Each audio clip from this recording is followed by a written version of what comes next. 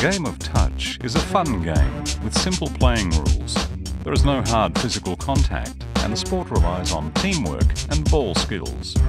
Suitable for players of all ages, for both genders and for mixed gender competition. Touch is exciting to watch and is certainly fun to play.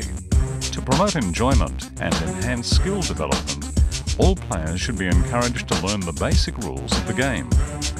This resource is designed for children and for beginners and is divided into five segments covering the following areas. Field dimensions, teams and duration.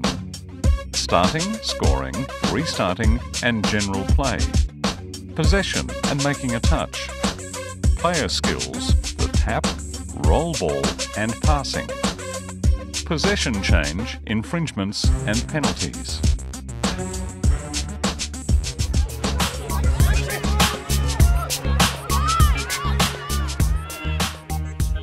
Field dimensions, teams and duration. The size of a touch field or touch pitch is 70 metres by 50 metres, although the size may differ slightly in park level or junior games.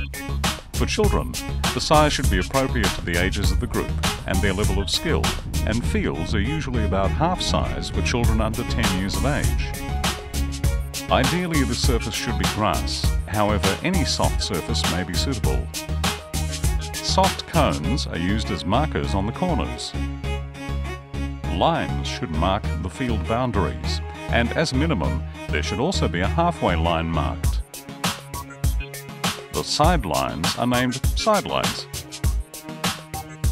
and the end lines are called score lines. Details of other markings can be found in the official Federation playing rules.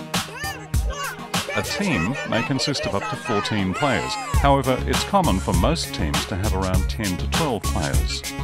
There are six players from each team allowed on the field at any one time, and they are the playing positions of two wings, two links, and two middles.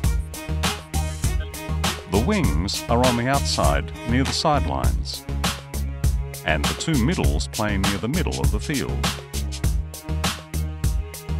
The left and right links play in the two positions between the middles and the wings. Team players not on the field usually remain in the interchange area called the sub-box, located near the halfway line on each side of the field, one for each team. Players may interchange or substitute at any time, although the player coming from the field needs to be off the field before the substitute player goes onto the field Players can interchange as often as they wish throughout the game. The game of touch is normally played in two halves of 20 minutes with a 5 minute half-time break. Official touch balls should be used and players are required to wear soft shoes with rubber or flexible soles. All team players should wear numbered shirts or tops together with uniform shorts and socks.